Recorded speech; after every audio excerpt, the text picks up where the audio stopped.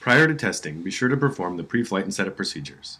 The heat exchange test checks the integrity of the heat exchanger by analyzing pre and post comfort blower operation flue gas samples. The analyzer then stores the results to be viewed or printed. First, turn dial to exchange test.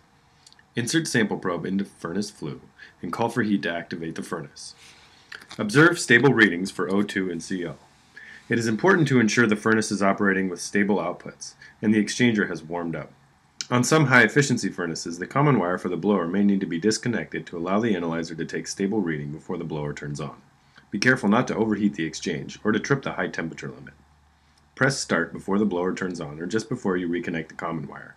This begins a countdown showing the test is in process, 30 or 60 seconds depending on the model. During this time, any impact to the combustion process from a breach in the heat exchange will occur. At the end of the countdown, the analyzer will display the difference for pre-blower and post-blower readings for O2, CO, and excess air. Press Enter to store this information to a report. Make note of the log number. To see and print the report, first rotate dial to Menu. Press up or down to Report and press Enter. Next, press up or down to Exchange and press Enter. Exchange View should show, and press Enter to view logged results. The most recent test will be the report with the highest log number.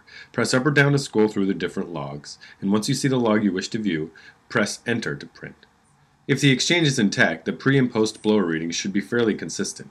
Any spike in CO readings points to a compromised exchange. Drastic changes of any readings indicate that further investigation is needed.